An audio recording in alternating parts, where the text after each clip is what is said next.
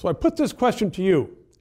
If Alberta was getting an awful lot of money from the rest of Canada, maybe $14 billion like Quebec is getting, and said, we are not going to allow French to be spoken in Alberta anymore.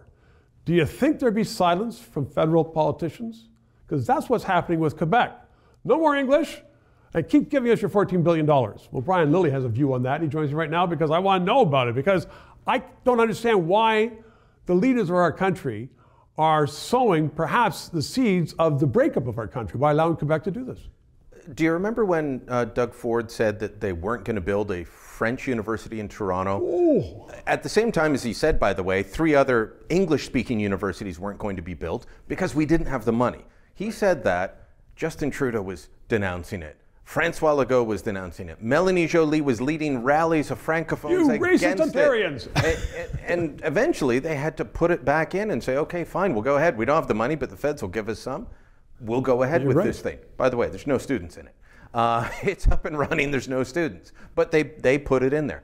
Quebec is uh, putting healthcare for Anglophones in danger. They're taking historically English um, towns, boroughs, and, saying you can't give service in English. Places like Lennoxville, you know, the home of Bishop's University, very English place.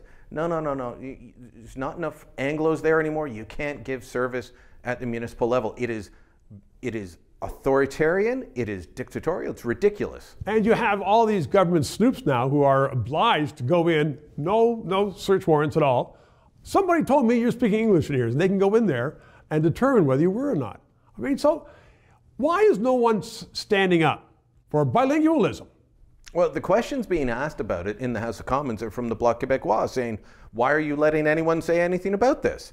Um, you know, uh, there was a, a, a bit of uh, an uproar. The Conservative leadership race uh, had leaders finally saying, "Bill 21, the bigoted bill, is wrong." It took years for that Yes. to happen, but nobody's saying anything about Bill 96, and there's no hue and cry out, you know, uh, hue and cry about the fact that they've stapled the notwithstanding clause on the front of the bill once Yeah. again.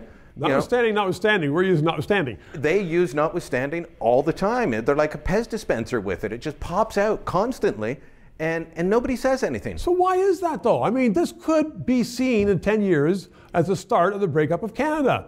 They want billions of dollars a year, but you Anglos, you come across the border, you can't speak English. And, and you know what the Bloc is asking about all week in the House of Commons? Why isn't the federal government doing more to shut down Alberta's oil, where a lot of that money that they uh, survive on comes from?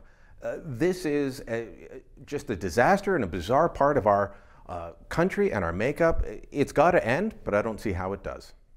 Well, next chapter on that with you, Brian Lilley. Thanks very much. Three minutes. Every day, Justin Trudeau tells you, I am making life more affordable for Canadians. And if you believe that, don't watch the station. But if you think that's baloney, as I do, that's a lie, then keep watching for non biased, non Prime Minister's Office funded news analysis. To keep us on the air, please donate.